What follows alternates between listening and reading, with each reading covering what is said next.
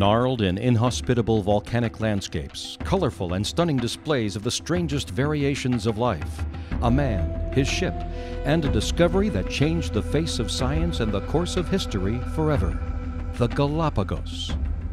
But all those beautiful creatures, and all that land rising craggy from the waters of the Pacific, and the theory of evolution which irrevocably changed the face of science and our perception of the natural world, they only represent one side of the Galapagos.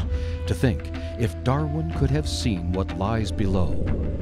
The waters that surround the Galapagos archipelago are the point of convergence for several ocean currents, and as such, they teem with even more incredible species, nearly one fifth of them endemic to the region. Marine iguanas, fur seals, coral beds of stunning beauty, and the most northern dwelling penguins in the world.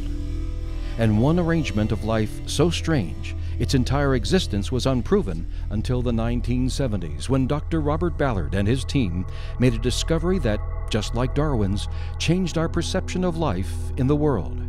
Deep below the ocean's surface, beyond the reach of the sun's light, Dr. Ballard and his team discovered something fantastic among the hydrothermal vents of the Galapagos Rift, a landscape shaped by volcanic activity and spreading tectonic plates.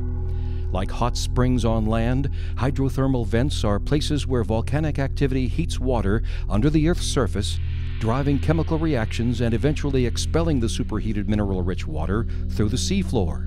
There, among the vents, Dr. Ballard and his team discovered giant tube worms and other creatures living by means of chemosynthesis, using chemicals released by the vents as the fuel for life in an environment so harsh, so toxic, that their very existence expanded our understanding of the resilience and adaptability of life on Earth.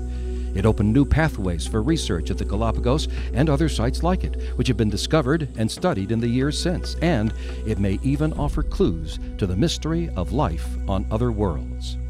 The true marvel of the creatures of the Galapagos is not in their stunning colors nor their specialized behaviors, but in their adaptability and the way they have responded to a changing environment. That phenomenon is the source of their amazing attributes and fodder for the discoveries of science. And it is the impetus for the return of Dr. Ballard and his team aboard EV Nautilus, now underway, to find which things have changed which have remained the same, and which new wonders of biology have arisen as a result. Follow the journey on nautiluslive.org.